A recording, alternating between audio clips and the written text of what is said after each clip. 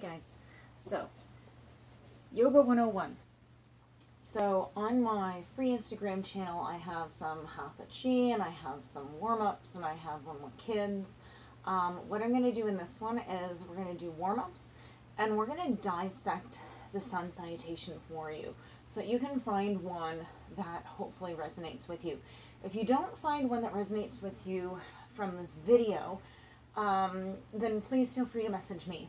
Let me know and um, let me know your specific limitations and I can find one for you. Purpose of sun salutations is to warm the body so then we can get into the holding postures. So we can gently hold and stretch the body. So this is my intention for you is to find this nice moving meditation. Um, once you find what your sun salutation is, um, it's amazing the benefits that it can provide for you. So first we're going to warm up. Okay, I have these a bunch of different ways. Um, I have one with Lexi that I just put up. I have them a bunch of ways, but we're going to start as a class right now. So I want you to find an easy seated position. If you need, you can get something to sit on. If you have a yoga block, you can sit on the yoga block. If sitting cross-legged doesn't work for you, sit on the edge of your couch, okay?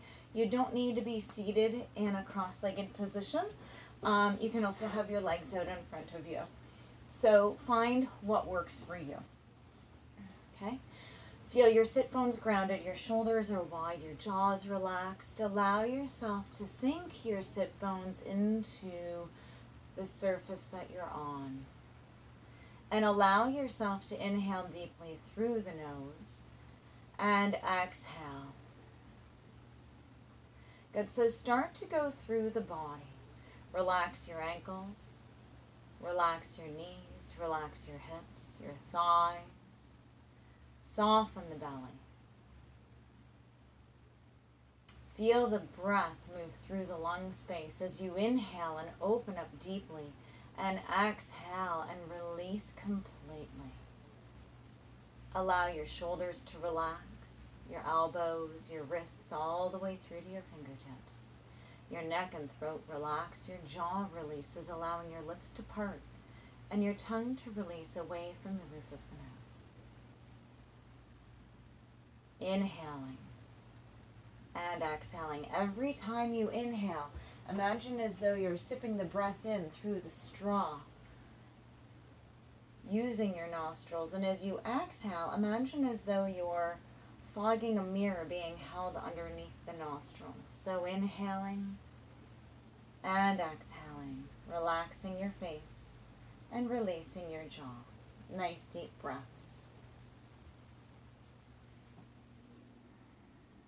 And as you continue to focus on the breath, allow yourself to hear the soft sound. It sounds like a wave in the ocean, or it can sound like you're trying to whisper your breath, inhaling and exhaling. Allow yourself to melt. Relax your flexors. Feel yourself settle back. You should be able to find a seated position that doesn't irritate your spine. If your spine's irritated, it's not in its natural state. Softly take your arms down beside you. We're going to inhale, stretch all the way up to the sky. And exhale, press down. Inhale, reach up. And exhale, press down. Good. Inhale, reach all the way up. Good. Let's go ahead and take the right side over. So I'm mirroring you if you're watching me. Nice deep breaths. Good. Pull the underside of the body up. Make sure your sit bones are grounded. Your flexors are relaxed. Your thighs are released. Your jaws relaxed. Let the neck release. Soften the belly. Nice big breaths. Inhaling and exhaling, relaxing your face, releasing your jaw. Take a nice big inhale. Exhale, take the top arm all the way around. Pull the shoulder away from the ear and allow the head to hang. Inhaling and exhaling here. Good. And you can tip the nose down, tuck the chin in. You can look up and away. Move the head around and see where it feels best for you. Stay for an inhale. And let's exhale, slowly stack the spine back up nice and tall. Inhale, reach up. Exhale, press down. Inhale, reach all the way up. Good, let's go to the other side. Take the hand down, extend over to the side. Draw the underside of the body up, shoulders wide, jaws relaxed. Again, sit bones are grounded and feel the underside of the body pulling up. So important to do these correctly because you're massaging your insides. We're not just stretching. You're also massaging all of your organs. Nice deep breaths. You're going to be able to side bend one way better than the other. The side that you have issues with is the side that you should spend more time on. Taking an inhale and exhale, top arm comes all the way around. Shoulder comes away from the ear, let the head hang. Nice deep breaths. Hear the sound of your breath.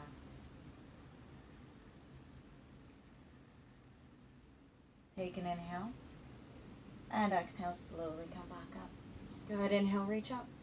Exhale, press down. Good, inhale, reach all the way up. We're gonna go ahead and rotate over to the right side. Hands on the knee, the other hand tense behind the hip, shoulders back and down. Now feel your sit bones grounding. Don't yank yourself over yet. Feel your sit bones grounding. Good, soften the belly in. Make sure you're not overextending your low back. Okay, and lift up super tall through the crown of the head. Take a big inhale, and as you exhale, let the elbows draw outward. Feel your breath fill the space from your shoulder blades to your collarbones. Don't squeeze the shoulders into the body in any way. Feel yourself softening the elbows, lengthening the spine. It's only by creating space in your spine that you're going to get more movement out of it. So soften the belly and make sure your deepest abdominal muscles are softly activated to help support it. It's not socking the belly in, it's lifting. Nice deep breaths. Nice big inhale. And exhale, come all the way around. Good, don't hinge forward because that's not going to help your spine. Instead, round forward and gently rock from side to side. Let all those muscles softly release back. Good, and you're going to slowly come back up. Circle, reach the arms all the way up. And we're going to rotate over to the other side. Hands on the knee, the other hand's tented behind the hip. Good. So again, just like when you side bend, you rotate better one way than the other as well. So get the shoulders back and down. Good. Get the pelvis to move a little bit. So I'm just rocking on my sit bones. Good. Sitting nice and tall, shoulders wide. Nice big inhale. And exhale, draw yourself around, shoulders wide. And breathe into the space between the collarbones and the shoulder blades. Nice big breaths. Inhaling deeply. And exhaling completely.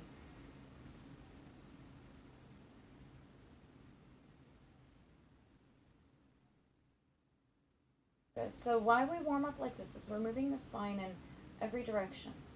Nice big inhale. And exhale, come all the way around. Good. Now we've done the spine both ways. Now you can slide forward all the way down. Good.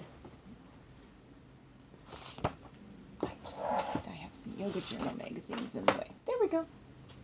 So now we're going to go ahead and slowly come back up. Good. So from here, you can stay seated for cat cow if you wish. If your knees are really bad, you might decide to do this. You can also do this if you're sitting on the couch. You can do this. So you can do this sitting. We're just going to be moving forward and curling back. So I want to show you from the side what that looks like. So cross-legged, imagine there's a wall and a wall. And you're going to slowly go forward and then carry it back and curl through and go back. And then you're carrying it forward and going back. So same with if you can't cross your legs, you're coming forward and going back. So you're using your legs for support so that you can get movement in the spine. Okay, that's what that looks like. Otherwise, if you can, we're going to come into tabletop. So come onto your hands and knees. Okay. And from here, yep, you're going to go ahead and you're going to inhale, roll the shoulders back and down softly. You're going to guide the chest forward and you're going to look up. No, don't jam your neck. That's not really looking up. But look ahead. Imagine there's a string at the chest and it's drawing you forward and really feel your hips. Move them around if you can. So for those of you who are seated, you can softly shift the weight from hip to hip. Now you're not jamming your back, you're pulling it forward, so you're feeling a stretch. Curl the tail, press up and away. Good, and then gently rock out here. Good, inhale, cow. Exhale, cat. Good, inhale. Good, and exhale. When you curl under, you shouldn't be letting the belly hang out, okay? You should have the belly drawn in, okay? You should be moving your body with strength. Yeah, a lot of people think just because yoga is stretching, it actually really isn't a ton of stretching. Um, it's, it's getting the body to move, but you need to make sure that you're moving all the muscles properly. So even something as simple as cat-cow oftentimes is done really wrong. Now from cat-cow, we're just going to go to look to one side and center, and the other side and center. Good. Just getting the hips to move more, and the other. Good. One more time. One. Good. And the other. Good. And let's come back. Good. We're going to discuss child's pose. Child's pose is a very important part of yoga. Um, it is your resting pose. Downward facing dog will eventually become a resting pose for you. Child's pose is big toes touching and the knees are wide. Now, they always say to sit back. We do want you to sit back, okay? Now, depending on your knees, depending on your hips, depending on your stature, you might not be able to do that, and that's okay. So what you do is, if you can, you just bring yourself down right? And it's wherever you can get your head to rest because you don't want to be hanging out like this. This is so unsupported. It's bad for your knees. It's bad for your back. You want support, so get the head down and try to get the back just to flatten out. If that's uncomfortable, raise your bum up higher. Okay, so even if you aren't really in a child's pose, the purpose of it is for you to just to breathe. It's getting comfortable so you can breathe. Okay, so if you need another variation in child's pose doesn't work for you, let me know. Okay, so child's pose. Okay, so from here we're going to work into one of the most difficult poses I think that there is in yoga, and that's downward facing dog. In downward facing dog, and bear with me because a lot of times people who um, have done yoga for a long time. Um, they still don't do great downward facing dogs. Um, and it's very hard to teach, so I'm not poo-pooing anybody. It is very difficult to instruct. So let's go ahead and see what we can do. This is why I don't really do a ton of videos um, that involve yoga because it really is about closing your eyes and feeling. I don't want you to look at me and go, oh wow, I, I, I want to do that or look in the mirror and say, oh, look what I'm doing because it's really about listening and trying to find the muscle engagement. Yoga is not an easy exercise. So what you're going to do, I want you to take the hands down, middle finger facing forward. Okay, your hands are shoulder width apart. They might even be wider. Okay, it depends on how tight your shoulders are and where, because you want to make sure that when you press up, really what you're doing is you're doing this.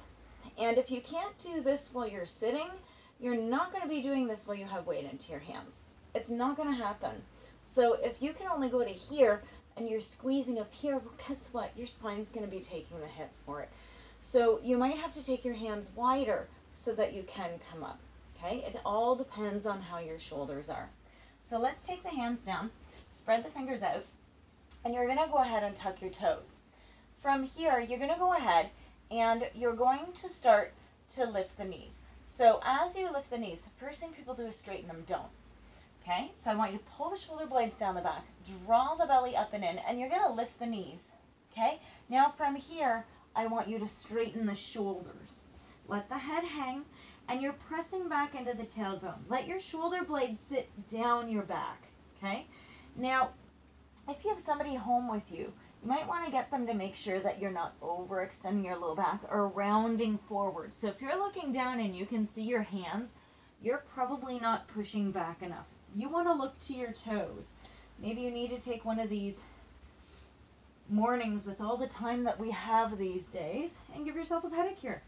So press back, okay? And what I want you to do is take one leg straight. But don't let the heel come down. I want your knee to go straight. I want you to be able to lift your kneecap up and engage the knee muscle. Okay, and I don't want you to round your back out while you're doing it. Okay, so then go back to the sitting back position. Sit back into the legs again. Good, take the left leg straight. See if you can get the knee straight and not round and come forward into the hands anymore. Keep pushing back so that you're truly stretching behind the knee and down into the leg. You may feel this behind the knee and down into your foot. If you feel that, that means that you're this close, if you don't already, to having plantar fasciitis. It's a great stretch for you, but don't focus on dropping your heels. Get your knees to be straighter. Try to go side to side a few times. Your sides will be different. We use our legs differently, okay? So feel how different they are. If you're a little bit more flexible, and you can reassure me that you definitely have the legs straight, okay? The other leg is bent.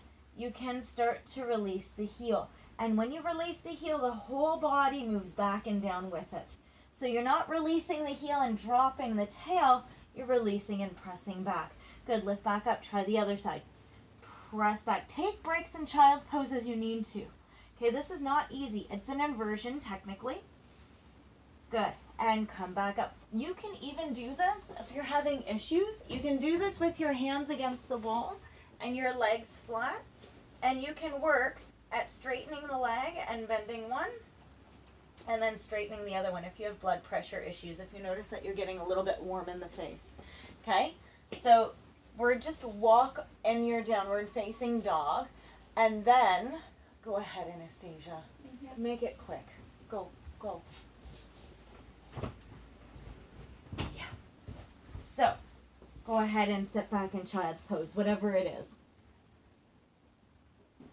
Okay? So, downward facing dog. Now we're going to try it with both legs. Okay? I'm not saying it's easy.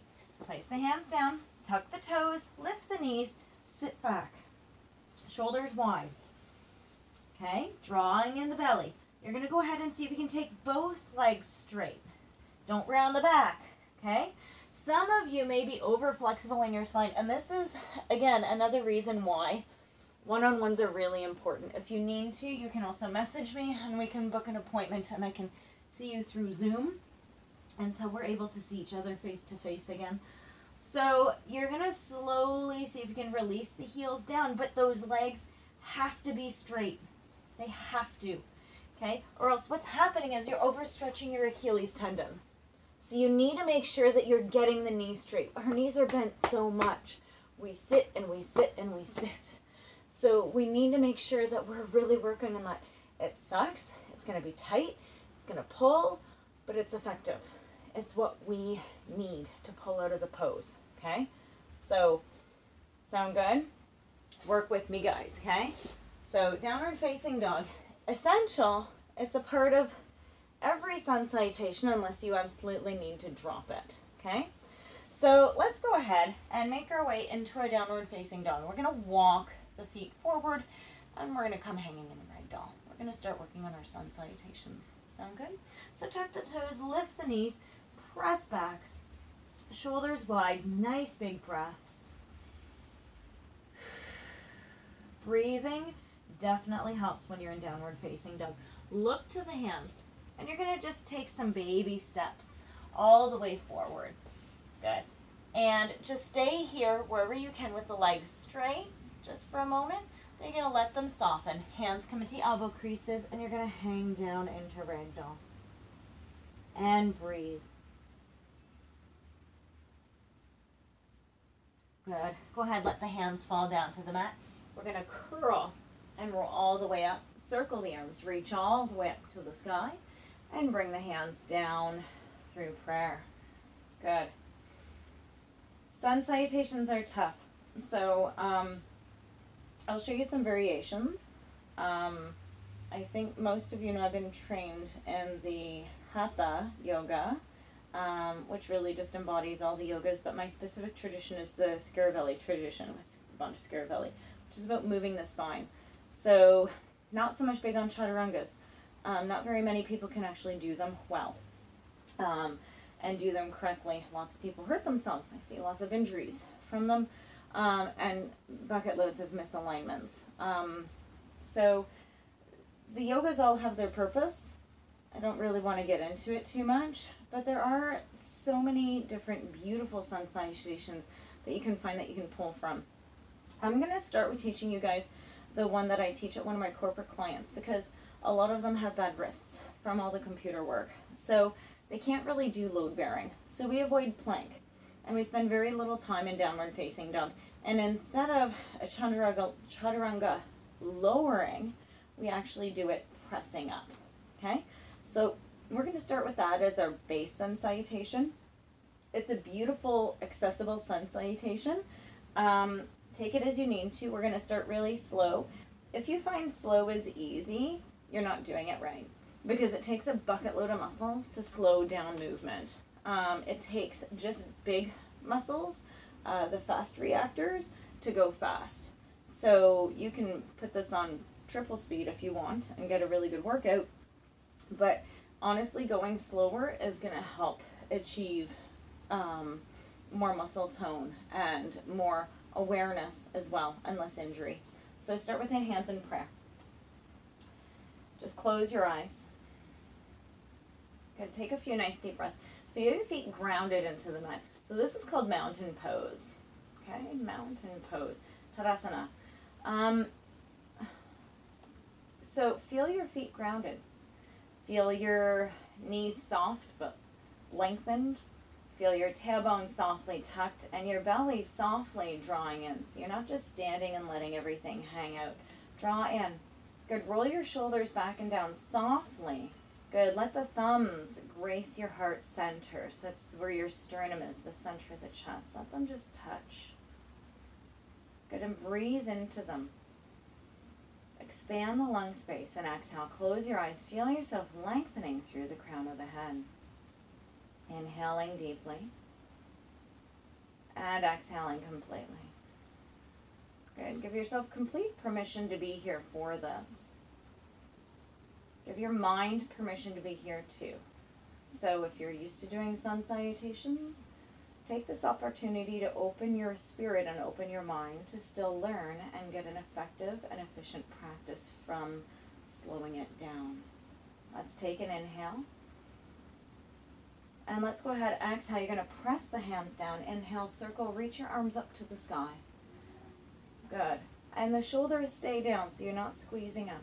You're going to exhale, and we do what's called a swan dive. You swan dive, hinging at the hips, and you come all the way down. Now, if coming down doesn't work for you, you can keep something in front of you that keeps you from going that low. We're trying to create a hinge in your swan dive. So you're folding at the hips. You're not rounding the back down, okay? So in your flat back, so it feels like you're popping your bum out. So you're taking your tail and pulling it out behind you. Your legs are still long and lifting, so this is going to be a stretch for the back of the legs. Draw the belly in and recruit the core. Don't let it hang out. Pull it up and in. Okay, lift through pelvic floor. Okay, gentlemen, do your testicular lift. Okay, ladies, do your proper Kegel. Okay, now you can also take the hands onto the bottom of the legs. They're just pressing in gently. You don't push in because you can hurt your knees. So you can come up, halfway lift. Okay, good. Now we're going to go ahead and let the fingertips touch the mat gently. You're going to shift your weight into the left foot. You're going to slowly peel the right leg up and reach back, and you're going to place it down onto the mat. Okay, so you're going to really make sure your feet are hip width apart. It doesn't matter how long they are apart, but the width matters. You're pressing into the front leg, okay? You're gonna come up, tuck the tail, good, and slowly reach the arms up. Nice big inhale, stretch up. Good, push the back leg straight. Don't let the knee bend, okay? Because that's a natural state for the right side. As soon as you start to press it straight, you're gonna get a great flexor stretch. Tuck the tail, get that right glute to work, okay? The front knee is over the ankle, Okay, if you have knee issues, you may go back a little farther, but try to get the knee over the ankle as best as you can. You can lunge back deeper if you want more challenge. Just make sure that when you lunge, you're not down like this and that you haven't broken the ability to use your, your core here. Okay, when you come down so far, you pretty much just cut off your flexors and you don't want that, okay? You want to still be able to use uh, the entire body here. It's a nice stable base. Nice big inhale. Good. take the hands up and rotate and turn the pinkies in towards one another and open up the chest and lengthen the chest up. So I don't want you to go into a crazy back bend unless that's part of your practice, but still think about creating space and length. Relax your shoulders and your jaw. Nice big inhale. We're going to exhale. Circle the arms down to your mat. Good. Place the hands down and you're going to step back into your downward facing dog. So step back, take the foot back, and just walk it out a bit. Okay? Good. So from here, take an inhale. You're going to exhale, and we're going to release the knees, chin, and chest. So we're going to come into child's pose. Next time we do this, I'm going to teach you guys eight limb. Okay, so go back into child's pose. If you know eight limb, you can do eight limb. Good. From here, you press into the feet, so there's next to no weight in the knees. You press into the feet. Good. You push. The knees are lifted, and you lower yourself down.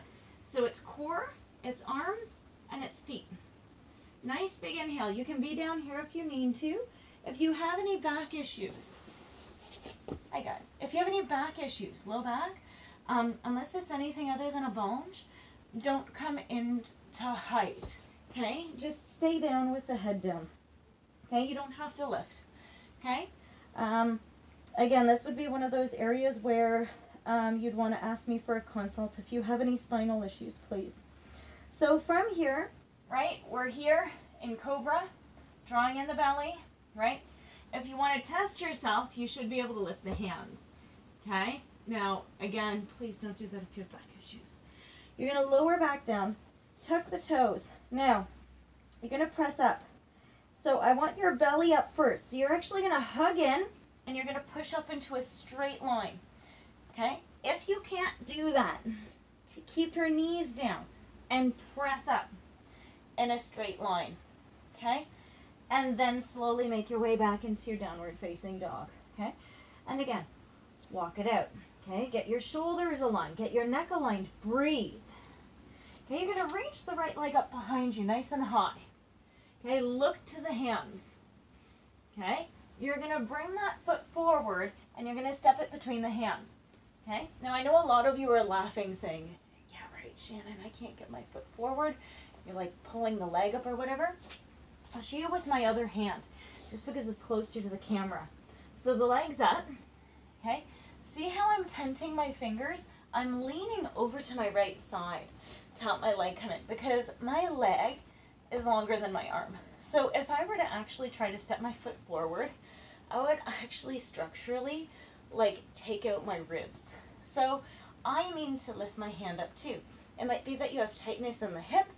It might be that you have um, that your skeleton just doesn't do it. It doesn't matter, okay? Find a way to help yourself move. And if you do have to sort of grab the leg and move it up, then do it, okay? That's fine.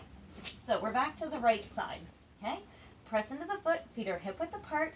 So now notice the other foot is forward because when we step back, we step back with the right.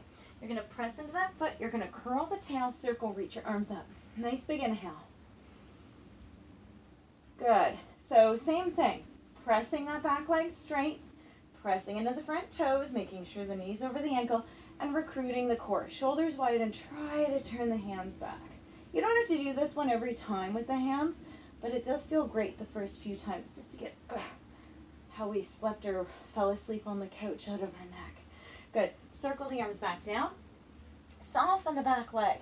Now here, you're barely using your hands and you're barely using the leg. You're coming up. It's your core you place the foot down and you fold down and you curl, roll all the way up and exhale, hands down to prayer. Good. So from here, what we're going to do is now we're going to do the other side. So that's technically half of a sun salutation because we step back with the right.